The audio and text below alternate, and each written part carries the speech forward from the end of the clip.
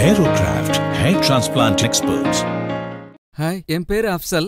எனக்கு இப்போ இருபத்தஞ்சு வயசாச்சு. ஒரு இருபத்தி மூணு வயசுல இருந்தால் என்னோட ஹேர் லாஸ் தொடங்குச்சு. அது இப்போ நான் டிரான்ஸ்பிளான்டேஷன் செஞ்சு இப்போ ஒரு எயிட் மந்த்ஸ் ஆச்சு. அதோட ரிசல்ட் தான் நீங்கள் இப்போ பார்க்குறீங்க எனக்கு ஒரு ரெண்டு வருஷத்துக்கு முன்னாடி இருபத்தி மூணு வயசுலேருந்து அந்த வயசுலேருந்து எனக்கு என் ஃப்ரெண்ட்ஸ் முன்னாடி அவங்க முன்னாடி வர்றதுக்கோ இல்லது ஒரு க்ரௌடு முன்னாடி வர்றதுக்கோ எனக்கு ரொம்ப தயக்கமாக இருக்கும். கேப் இல்லாமல் எப்பயுமே வெளியில் வர்றதுக்கே ரொம்ப சங்கடப்படுவேன். அது அனுபவிக்கிறவங்களுக்கு தான் என்னோடய அவஸ்தை முழுசாக புரிஞ்சுக்க முடியும்.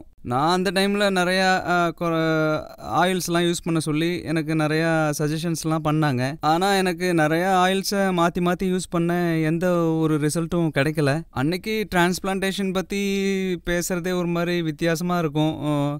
எனக்கு மட்டும் இல்லை எல்லாருக்குமே அந்த மாதிரியான ஒரு எண்ணம் தான் இருந்துச்சு. அது எப்படின்னு கேட்டிங்கன்னா வீட்லேயும் யாருக்குமே சம்மதமே இல்லை.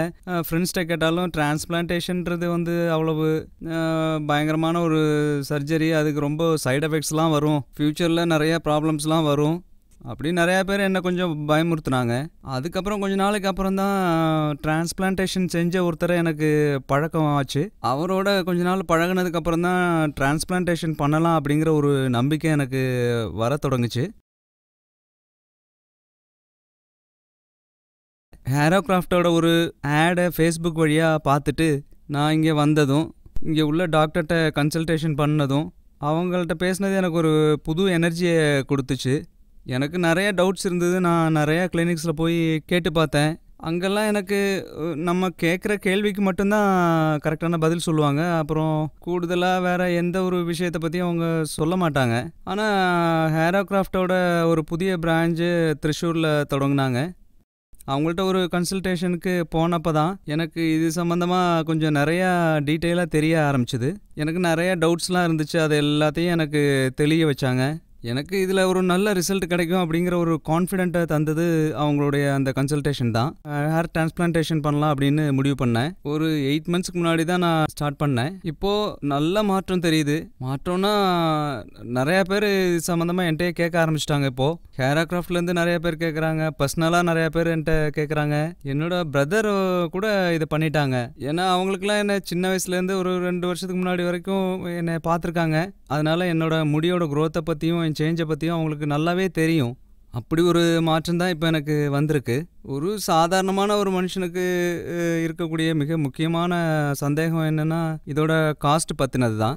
ஒரு சாதாரணமான ஆளுக்கு இந்த காஸ்ட் கட்டுப்படி ஆகுமா? இப்படி தான் எல்லாருமே ஒரு சாதாரணமாக உள்ள மனுஷன் இப்படி தான் யோசிப்பாங்க. ஒரு பயங்கர காஸ்ட்லியான ஒரு விஷயம் இது அப்படின்னு நினச்சிக்குவாங்க. நான் ஒரு சாதாரணமான ஆள் தான் ஒரு மிடில் கிளாஸ் ஃபேமிலி தான்.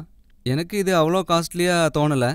இதை விட குறைவா செய்யறதுக்கு நிறையா கிளினிக்களும் ஸ்தாபனங்களும் இருக்கும். ஆனால் அப்படி நம்ம பண்ணுறத விட ஒரு கொஞ்சம் இது இருந்தாலும் ஒரு நல்ல இடத்துல வந்து டிரான்ஸ்பிளான்டேஷன் பண்ணுறது அதாவது நம்ம ஹேரோக்ராஃப்ட் மாதிரி ஒரு நல்ல நிறைய பிரான்ச்சஸ் இருக்கக்கூடிய ஒரு பெரிய இடத்துல நல்ல ஒரு ரிசல்ட்ஸ் கொடுத்த இடத்துல வந்து நம்ம பண்ணுறதுல ரொம்ப ரொம்ப பெட்டராக இருக்கும். மனசால நம்மளுக்கு ஒரு ரொம்ப பெரிய சாட்டிஸ்ஃபேக்ஷன் கிடைக்கணும். அது வந்து ரொம்ப முக்கியமான விஷயம். என்னை பொறுத்த வரைக்கும் இது ஒரு ரீசனபிள் ப்ரைஸில் தான் நான் செஞ்சுருக்கேன்.